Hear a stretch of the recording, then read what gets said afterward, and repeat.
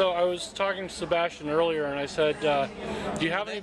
Yeah, I said, "Do you have anybody that you really want to beat more than anybody else?"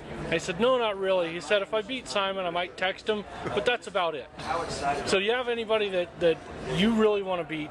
Yeah. You got a rivalry rivalry with? Yeah, I do with Will Power for sure. I, uh, I want to beat him. Uh, we've been teammates. Uh, I know exactly what his uh, what his talent is, and and I know I know how good he is. So uh, he's the guy I want to beat. So if you can beat him, you know you're doing a good job. Exactly. So it's not like you just want to crush him under your heel. No, it's not about crushing. It's about you know knowing that. Um, I think I think rivalry actually um, gives you motivation. You know, it brings you to another level.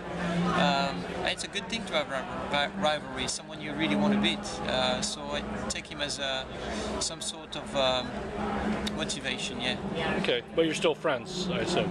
Yeah, friend. I mean, it's always difficult to be close friends uh, when you're racing up against each other. You know, it's it's not easy to um, have a trust relationship, which is totally normal when you're a competitive business and environment. So it takes uh, it takes a lot to go racing against each other and, and be friends. But um, we have good relationship, I should say. Okay, good. So I was uh, asking Simon just a minute ago, uh, kind of who's your big rival? Who do you want to beat more than anybody?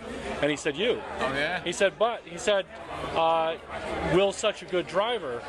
Uh, he's kind of the bar that I hold myself to, and if I beat him, I know I did a great job. So what do you what do you say to that? To, yeah. Well, thank you. yeah. I mean, he's uh, and he's yeah. I mean, he's very strong guy. I mean, this this to me in the series. Uh, you know, you got Dixon, Hunter-Reay. You know, I'm talking week in, week out. Dixon, Hunter-Reay, and uh, you know Simon. Really, the two guys are going to beat week in, week out. You know, they're always there. No matter what, you get to the fast six, it's like, yeah, the same group of guys. Uh, that's how it is.